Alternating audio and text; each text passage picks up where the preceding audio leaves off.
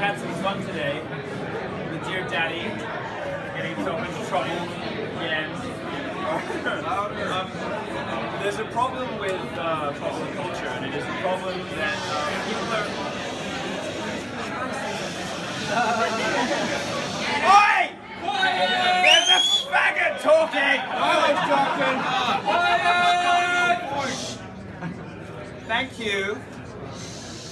There's a problem in popular culture today, and the problem is that people are not allowed to say things that are true or that are real. People are not allowed to express opinions that millions of ordinary Americans hold, which are not bigoted or racist, sexist, misogynistic, homophobic, transphobic, whatever the fuck. Um, they're simply ordinary opinions that millions of people hold. Um, there is a problem when perfectly respectable, reasonable mainstream opinions become proscribed by the by the media. What I'm about to do. No. no.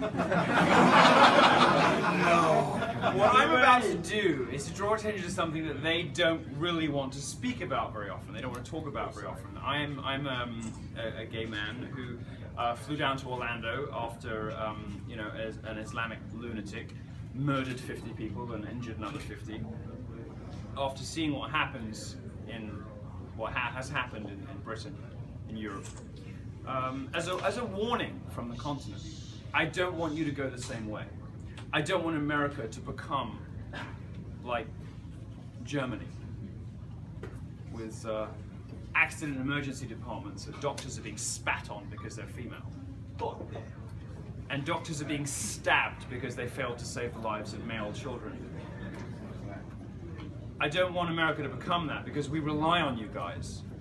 We love you, trust you and we rely on you. Without a strong America, without a strong America, we're left with China and Russia.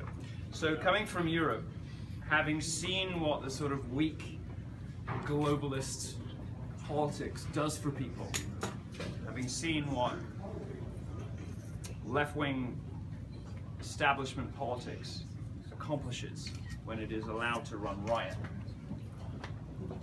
I want to come to you I'm, in, I'm here in America to tell you that there's a different way, there's a better way, and it is cleaving to the principles on which this country was founded.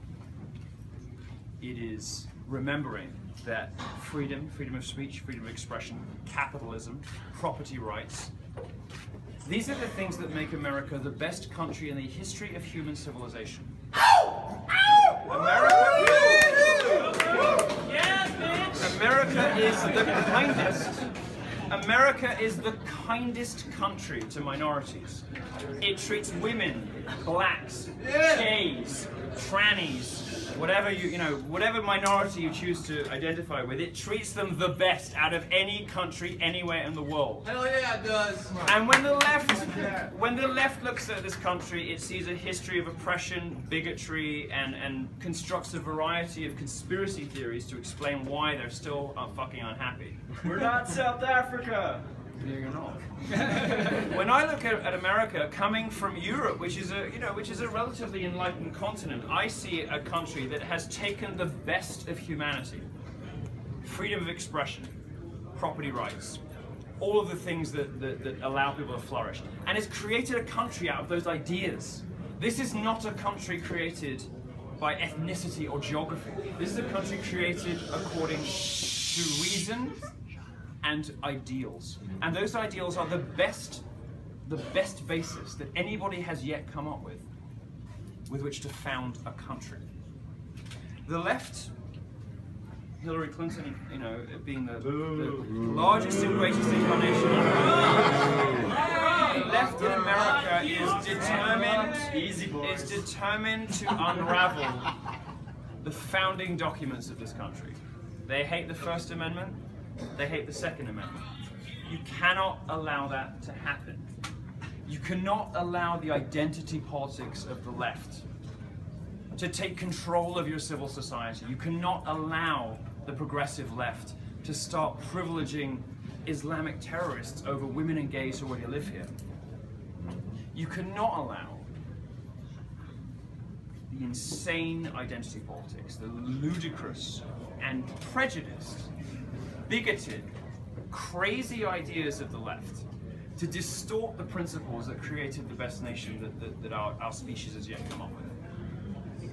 What I'm going to do tonight, which is going to be deeply uncomfortable. I know I'm worried. The blood's going to get everywhere. It's going to get up in things. Men get periods too. Well, they will today. They will today.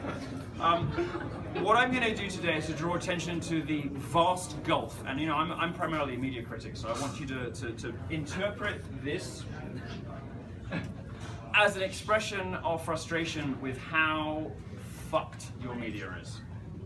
The American media, you know, has every, you know, has every resource available at its, at its disposal and has squandered all those resources. The American media is the most intellectually and morally bankrupt media anywhere in the free world. Yup. Um, Yup. what I want you to take away from this is the gulf between the rhetoric you hear on CNN, on MSNBC, that you read in the New York Times, that you read in the Washington Post, and reality.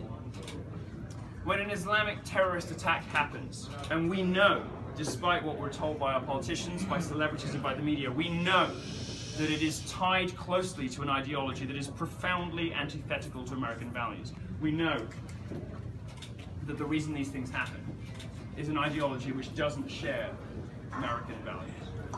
But the media says that the really big story is Islamophobia. What we should really be worried about after Muslims kill dozens of people is hijab pulling. Who's listening to rap music?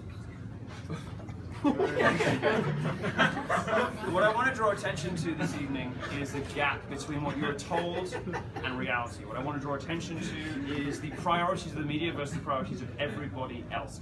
Donald Trump's campaign and the populist, conservative, and libertarian movement that has fueled it and that exists everywhere in Europe and everywhere in America now and is not going away whatever happens in this election.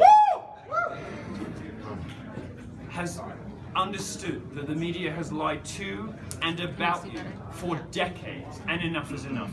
These pictures, and please turn your cameras away from me and to these pictures. These pictures are people who were killed, who were murdered by illegal aliens, by people who have no right to be in the United States. These are the pictures of people who need not have died, but for an elitist, globalist philosophy that puts principle over human life. And I'm also going this evening, uh, aside from these, these victims, to be performing on behalf of the victims of Islamic terrorism too. Whether it's Orlando, 7-7, 9-11, I wish Americans would learn their fucking lesson. Yeah. Yeah. Yeah. 9-11 happened here. They flew a plane into the Pentagon. And America wants to re-elect you know, a woman who's taken 50 million from those countries. Set aside the fact that she panders to uh, to gays here, while sucking up for donations to some of the most regressive and homophobic uh, some of the most regressive and homophobic uh, countries anywhere in the world. Just look at it on the facts. Just look. Just just take it for what it is. Approach it simply. This is a woman who is going to welcome in more terror, more bloodshed, more horror, and is going to create more innocent, unnecessary death. The left is protesting this. Even our, the, our own gallery here is now getting cold feet about it. Uh, and this has already been moved once, as you know. This is, as far as I'm aware, um, the first really significantly protested art show since Piss Christ. And it is, as far as I'm aware, the first significantly protested art show in history to have been protested from the left. Yeah.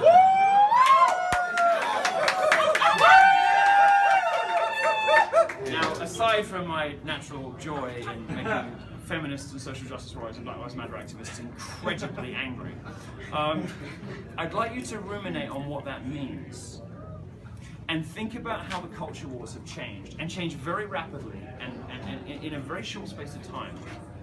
The dissident element in culture, punk, mischief, irreverence, is now better represented in politics by Make America Great Again act than by anything on the left. If you want to annoy somebody, if you want to piss your parents off, if you want to be ejected from polite society, as this poor angel has been,